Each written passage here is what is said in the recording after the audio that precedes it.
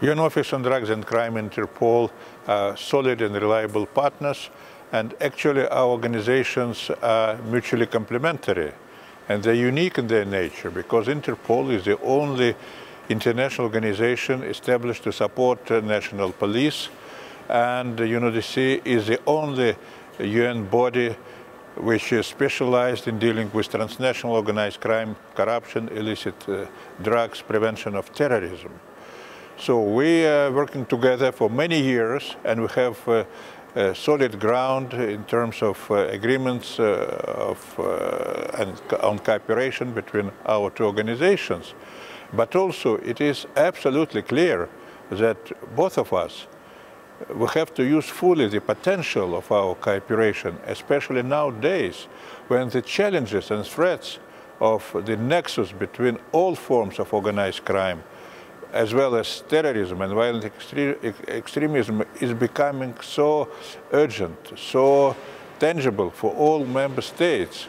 We need to act together. We need to prevent all forms of organized crime, illicit trafficking and terrorism. And uh, this way we can really provide a valuable support to our stakeholders, member states, we uh, now having a second meeting of our main coordinating body, the steering committee, and our colleagues uh, started to discuss uh, additional ideas, how we can work together, how we can deliver together, how we can support together countries in different parts of the world suffering from the impact of uh, transnational organized crime, illicit trafficking, terrorism, and drugs.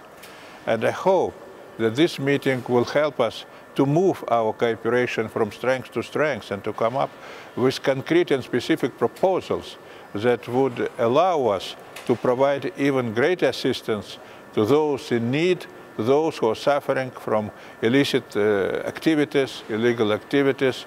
and for those who are uh, uh, inspired by the Sustainable Development Goals, because without the rule of law, without putting an end to corruption and bribery, without putting an end to organized crime, it is hardly possible to move ahead with a sustainable uh, development agenda. It's hardly possible to move ahead with strengthening of international peace and security. That's why I appreciate uh, the whole support we're getting from Interpol, and I hope that our cooperation will continue for the benefit of all countries in the world. I thank you.